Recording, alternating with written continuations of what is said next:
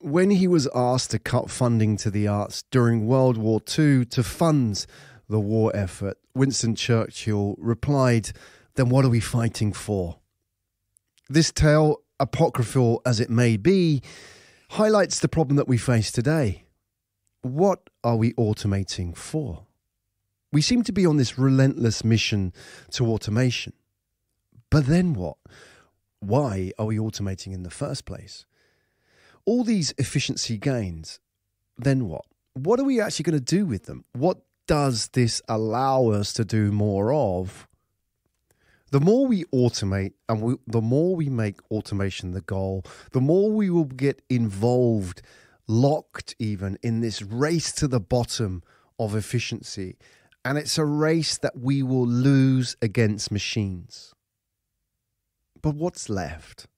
What can machines not do? There was a competition between doctors and AI held in China. Neuromind, artificial intelligence versus the highly trained doctors. And they brought together 15 of the most prominent and well trained doctors, neurosurgeons from their fields to pit their wits against robots in a competition where they had to analyze scans scans of brains, neuroimaging scans, and deliver diagnoses. And they were tested for their speed and their accuracy. Doctors versus machines. And they found out that machine, the AI, was twice as fast and 50% more accurate than a doctor, a team of doctors a team of doctors, each with 20 to 30 years of on the job experience. So, what does that mean? Well, it means that the machine is better at automation. Because really, if diagnosis is about recognizing patterns and recognizing billions of data sets, there's no way a human being can compete with AI. What's left? Well, this is how we need to use AI. We shouldn't use AI just to automate. We must automate to elevate. Automate to elevate means allow AI to do all the heavy lifting for us, but elevate our communication. So the fact that a doctor can be replaced by a machine doesn't necessarily replace the role that a doctor can perform with a patient. See, what a doctor can do and what any medical professional could do is sit with a patient, hold their hand, and say, How are you? That is the difference between machine and human being. And as it happens, machines will replace humans, but they cannot replace humanity.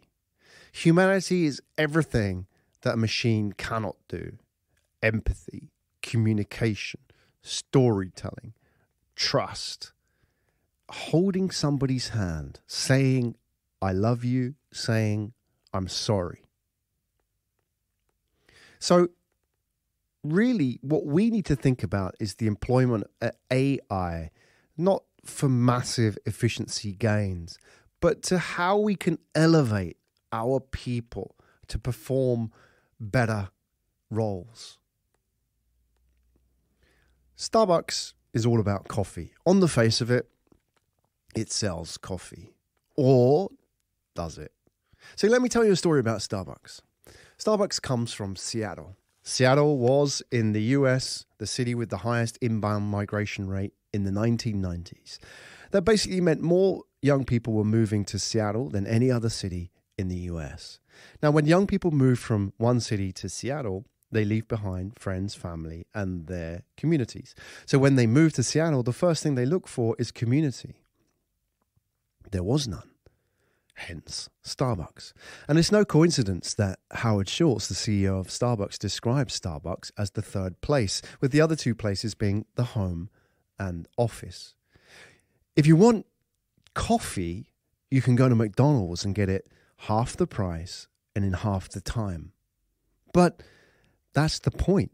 Starbucks isn't selling coffee. Starbucks sells space. You know what Starbucks sells is community. It's the humanity that we're looking for. And if we were all about the relentless push to efficiency, go to McDonald's, go to the machine, go to the fast food retail outlet that has seats which are angled at such a degree to stop their customers falling asleep. Go to the fast food retail outlet where the customer is always right, not because in somehow that creates a better customer experience, but because that disempowers the people to make any decisions about the customer.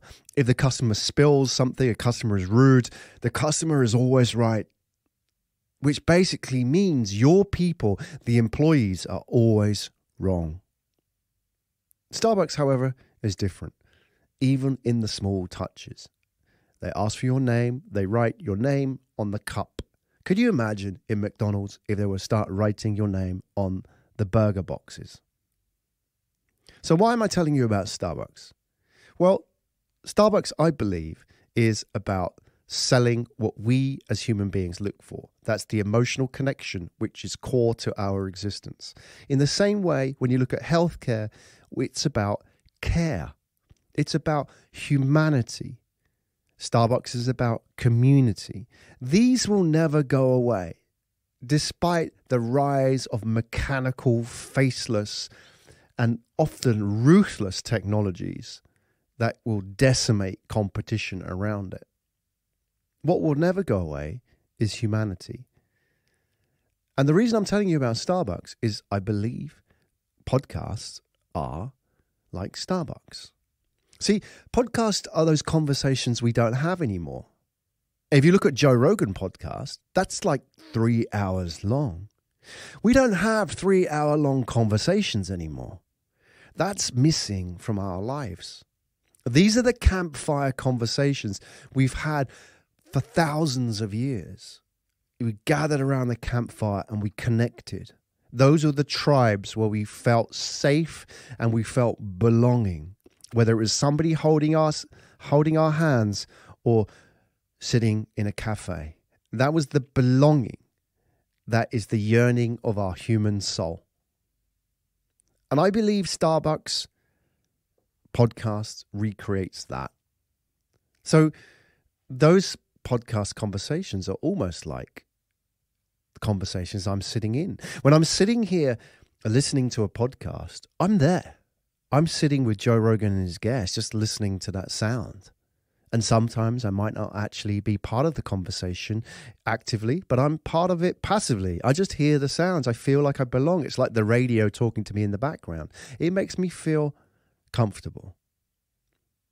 And that's what we used to do in the old days. You left the radio on in the kitchen whilst you were doing your chores or whilst the family were going on about the business. Same as the car, because it made us feel in those places that were lonely that we weren't alone. And when I listen to a podcast, I'm part of the conversation too. And that is what I'm buying into. I'm buying into that elevation of communication that it's great that we have all this automation. And the more we automate, the more we will yearn for this. So the more we push into AI, the more we push into the machine era, the more the human soul will cry out for the connection that it's lost. And it's no coincidence that the biggest Starbucks in the world, as of time of recording, is in Shanghai. Shanghai, China has seen possibly the biggest migration of humans in recent history. Hundreds of millions of people have moved from rural China to the cities. Many have left families. Some have even left their children to go and work in the big cities.